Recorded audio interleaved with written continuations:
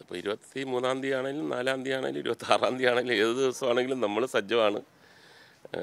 ഇടതുപക്ഷം വളരെ ജാഗരൂകരായി വളരെ ആത്മാർത്ഥമായിട്ടുള്ള ആത്മവിശ്വാസത്തോടു കൂടി തന്നെയാണ് മുന്നോട്ട് പോകുന്നത്. ഏത് ദിവസമാണെങ്കിലും നമുക്ക് പ്രശ്നമില്ല.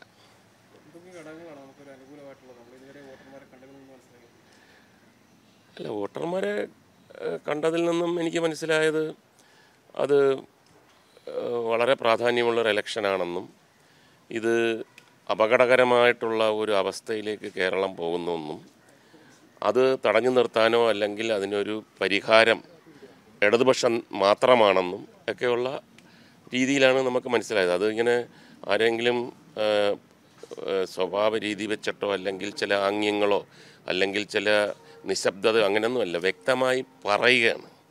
ഇത് പ്രത്യേകിച്ച് ന്യൂനപക്ഷങ്ങളും തൊഴിലാളികളും കൊല്ലം തൊഴിലാളികളുടെ ഒരു സ്ഥലമാണ്. അവിടെ വ്യക്തമായിട്ട് നമ്മൾ പറയുന്നതിന് മുമ്പ് ഇങ്ങോട്ട് പറയുകയാണ്. ഇത് തടയണം. പിന്നെ വളരെ ഇച്ചിരി മേലെത്തട്ടിലുള്ള ആൾക്കാരൊക്കെ നമ്മളിത് റിക്വസ്റ്റ് ചെയ്യുന്നുണ്ട്. ഞങ്ങൾക്ക് അങ്ങനെ അങ്ങ് ഇറങ്ങാൻ പറ്റില്ല. ഞങ്ങളുടെ മനസ്സങ്ങനെ തുറന്ന് കാണിക്കാൻ പറ്റാത്ത നിങ്ങൾക്കറിയാമല്ലോ. നിങ്ങളാണത് ചെയ്യേണ്ടത്. നിങ്ങളാണ് ജനങ്ങളുടെ ഇടയിൽ അത് മനസ്സിലാക്കി കൊടുക്കേണ്ടത്. എന്ന് വരെ പറയുന്നുണ്ട്. അതൊക്കെ വലിയ ആത്മവിശ്വാസമാണ് നമുക്ക്. എല്ലാം വരട്ടെ. അങ്ങനെയുള്ള രാഷ്ട്രീയമല്ലല്ലോ. നമ്മുടെ രാഷ്ട്രീയം. ആത്മാർത്ഥമായിട്ട് ശ്രമിക്കുന്നു. അത് കൊല്ലത്തിന് ആവശ്യമാണെന്ന് പറഞ്ഞ് മനസ്സിലാക്കി കൊടുക്കുന്നു. എല്ലാ സ്ഥലത്തും അതിനൊരു നല്ല റെസ്പോൺസാണ് കിട്ടുന്നത്. അതൊക്കെയാണ് ഇപ്പം സാധാരണഗതിയിൽ ഇപ്പം ഞാൻ ഒരു കലാകാരനായതുകൊണ്ടും പെട്ടെന്ന് ആരെങ്കിലും ഒരാളൊക്കെ തിരിഞ്ഞു നിന്ന് എതിർത്ത് കഴിഞ്ഞാലൊക്കെ നമ്മൾ ഒരു ഒന്ന് ഡെസ്പററ്റ് ആവുമായിരുന്നു പണ്ട്. ഇപ്പം നമുക്കത് പറഞ്ഞ് മനസ്സിലാക്കി എന്താണ്? അപ്പോൾ ഇവർക്ക് ഇങ്ങനെ പഠിച്ച് കൊടുത്തിരിക്കുന്ന ഇങ്ങനെ പഠിപ്പിച്ച് കൊടുത്തിരിക്കുന്ന തരത്തിലുള്ള ചില പിന്നെ റിയാക്ഷൻസ് കാണും. അപ്പം ഇപ്പോൾ ഉദാഹരണത്തിന് ഇന്ന് ഒരു സ്ഥലത്ത് ചെന്നപ്പോഴത്തേക്ക് എന്തായി? ക്ഷേമപെഷൻ എന്തായി?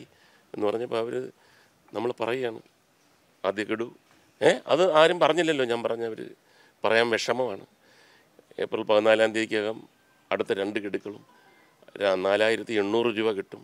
അതിനനുസരിച്ച് മുന്നോട്ട് ഓരോരോ ഗഡുക്കളായിട്ട് തരും. ഇതൊന്നും ഞങ്ങൾ അറിഞ്ഞില്ലല്ലോ. ഞാൻ പറഞ്ഞു പറയില്ല. ഇതെല്ലാം അപ്പോൾ അങ്ങനെയുള്ള സംഭവങ്ങളൊക്കെ ഇതിനിടയിൽ നടക്കുന്നുണ്ട്. നല്ല കാര്യങ്ങളൊന്നും അവരിൽ എത്തിക്കാൻ നോക്കുന്നില്ല. മറച്ചു വെക്കാൻ നോക്കുന്നു. പക്ഷേ ഒന്നോ രണ്ടോ ദിവസം കഴിയുമ്പോൾ അതെല്ലാം എത്തുമല്ലോ അപ്പോൾ അങ്ങനെ വളരെ പോസിറ്റീവായിട്ടുള്ള ഒരു രീതിയിൽ തന്നെയാണ് മുന്നോട്ട് പോകുന്നത്. ആളുകളുടെ ആദ്യ റിയാക്ഷൻ അനുകൂലമാണ്. തീർച്ചയായിട്ടും. ആദ്യത്തെ ദിവസം തന്നെ ഫസ്റ്റ് ഡേ നമുക്കറിയാം ഈ പാർലമെന്റ് ഇലക്ഷൻ എന്ന് പറയുമ്പോഴത്തേക്ക് കുറച്ച് ഒരുപാട് സ്ഥലങ്ങളൊക്കെ ഉള്ളതുകൊണ്ട് കുറച്ചൊരു ഒരു സ്ലോ സ്പീഡായിരിക്കും അതിന്റെ ഒരു പേസ് വളരെ സ്ലോ ആയിരിക്കും സാധാരണഗതിയിൽ. പക്ഷേ അത്ഭുതപ്പെടുത്തിക്കൊണ്ട് ഇപ്രാവശ്യം ഏറ്റവും ചൂടുള്ള സ്ഥലത്ത് കൊല്ലത്തൊക്കെ കേരളത്തിലെ ഏറ്റവും ചൂടുള്ള സ്ഥലങ്ങളൊക്കെ കൊല്ലമാണ് പുനലൂരും. അവിടെയൊക്കെ തന്നെ ആവേശത്തോടു കൂടിയാണ്. ആദ്യത്തെ ദിവസമൊക്കെ ചൂട് ചൂട്. ആൾക്കാരൊക്കെ പറയും ഇതെങ്ങനെയാണ് ചൂടിനെ എങ്ങനെ പിന്നെ ഇത് എതിരിടും എന്നൊക്കെ പറഞ്ഞു. പക്ഷേ തിരഞ്ഞെടുപ്പിന്റെ ചൂട് വന്നപ്പോഴത്തേക്ക് ആർക്കും ചൂട് അനുഭവപ്പെടുന്നില്ല എന്നുള്ളതാണ് സത്യസന്ധമായ യാഥാർത്ഥ്യം.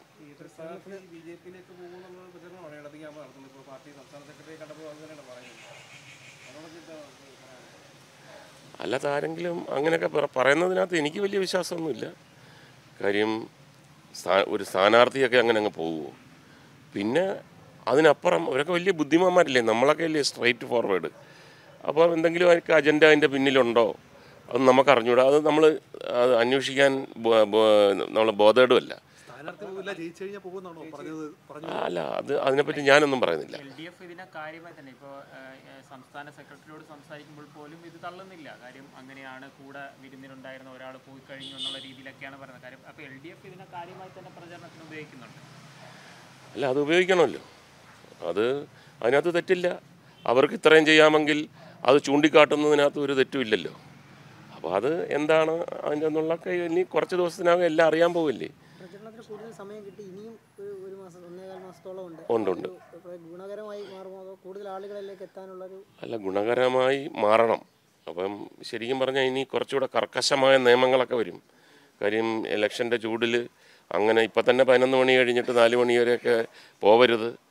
കാര്യം നമുക്ക് പുറത്ത് നിൽക്കുമ്പം അറിയാം. നമ്മൾ വെള്ളം കുടിക്കുന്നു അതിന്റെ പ്രിക്കോഷൻസൊക്കെ ഒരു വേണ്ട രീതിയിലല്ല ഒരു ചെറിയ രീതിയിലൊക്കെ ഇപ്പോൾ സാധാരണ ആൾക്കാർ ഇതിന്റെ പുറത്തൊരു വികാരം വന്നു കഴിഞ്ഞാൽ അവരിതെല്ലാം മറന്നു നിൽക്കാൻ പാടില്ല. ആരോഗ്യം കൂടെ ശ്രദ്ധിക്കണം. കാര്യം ഇലക്ഷൻ കഴിഞ്ഞാൽ നമ്മൾ നമ്മുടെ സ്ലോഗൻ എന്ന് പറഞ്ഞാൽ ഞാൻ ആദ്യം തന്നെ പറഞ്ഞു മരണമല്ലെങ്കിൽ വിജയം എന്നുള്ളതല്ല നമ്മുടെ സ്ലോഗൻ. ജീവിച്ചിരിക്കുമ്പോൾ വിജയം കാണുക എന്നുള്ളതാണ്. ഈ വിജയം കാണാൻ നമ്മൾ ജീവിച്ചിരിക്കണം ആരോഗ്യത്തോടെ. അപ്പോൾ രംഗത്തുള്ള ആളുകൾ പ്രചരണത്തിന് വരുമോ അവരൊക്കെ ക്ഷണിച്ചിട്ടുണ്ടോ അവർ ഇങ്ങോട്ട് വന്നിട്ട് ഇല്ല ഒരിക്കലും ക്ഷണിച്ചിട്ടുമില്ല. അവർ അങ്ങനെ വരാൻ നമ്മൾ ആവശ്യപ്പെടത്തുമില്ല. രണ്ട് ഇലക്ഷനും ആദ്യത്തെ ഇലക്ഷനിലൊക്കെ പിന്നെയും കുറച്ച് പേരൊക്കെ വന്നു. ഇപ്പോൾ അത് എല്ലാവർക്കും വ്യക്തമായ രാഷ്ട്രീയമുണ്ട്. നമ്മുടെ കൂടെ നിൽക്കുന്നവർ പോലും സിനിമയിൽ നിന്നും വരാൻ നമ്മൾ നിർബന്ധിക്കരുത്. ഒരു മനസ്സ് അറിഞ്ഞു വരുവാണെങ്കിൽ കാര്യം നമ്മൾ കണ്ടുകൊണ്ടിരിക്കുകയല്ലേ സോഷ്യൽ മീഡിയയൊക്കെ. ഒരാൾ അങ്ങോട്ട് പോയാലും ഇങ്ങോട്ട് പോയാലും ഒക്കെ അവരെ തേജോവധം ചെയ്യുകയാണ് അവരുടെ പിന്നെ ഒരു ഏതെങ്കിലും ഒരു പാർട്ടിയിൽ ഒരു ഫേവർ ചെയ്യുന്നു എന്ന് പറഞ്ഞു കഴിഞ്ഞാൽ അവരെ പോസ്റ്റർ വലിച്ചു കീറുക അവരെ പടത്തിന് മോശം റിവ്യൂ ചെയ്യുക. ഏറ്റവും വലിയ നടനായ മോഹൻലാലും അവർ ഇവരൊക്കെ തന്നെ ഇങ്ങനെ ഭയങ്കരമായിട്ട് ഈ സോഷ്യൽ മീഡിയയും റിവ്യൂസും എല്ലാം തകർക്കുന്നു. അതൊക്കെ അതിന്റെ പിന്നിലൊക്കെ രാഷ്ട്രീയമാണ് എന്നൊക്കെ പറയുമ്പോഴത്തേക്ക് ഒരുപാട് പേര് മടിക്കും. എന്നാലും വരുന്നവർക്ക് നമുക്ക് സന്തോഷമാണ്. ഇപ്പോൾ കഴിഞ്ഞ പ്രാവശ്യം ആസിഫ് അലി എന്റെ ഈ പ്രചരണത്തിന് വന്നപ്പോൾ ആസിഫ് അലി രാവിലെ മുതൽ വൈകുന്നേരം വരെ ഉണ്ടായിരുന്നു. ആസിഫ് അലി എന്നോട് പറഞ്ഞത് ഞാൻ തിരിച്ചറിഞ്ഞു. ഇത്രയും ആൾക്കാർ എന്നെ സ്നേഹിക്കുന്നുണ്ടെന്നുള്ളത്. ഈ ഡെപ്തിൽ സ്നേഹിക്കുന്നുണ്ടെന്ന് ഞാൻ ആദ്യമായിട്ട് മനസ്സിലാവുകയാണ്. കാര്യം ജീപ്പിന്റെ പുറകെ കിലോമീറ്റർ കണക്കിന് നിൽക്കുന്നില്ല. ചെറുപ്പക്കാരായിട്ടുള്ള ആൾക്കാർ ഓടുകയാണ്. ആസിഫ് അലി പറയുന്നു മതി മതി മതി എന്ന് പറഞ്ഞിട്ട് പോലും അത് വിടുന്നില്ല. അതൊക്കെ ഒരു കലാകാരനെ സംബന്ധിച്ചിടത്തോളം ഈ കോൺഫിഡൻസ് കിട്ടുന്ന ഒരു സാഹചര്യമാണ്. അപ്പോൾ അങ്ങനെ വരുന്നവർ വരട്ടെ. അത്രേ ഉള്ളൂ.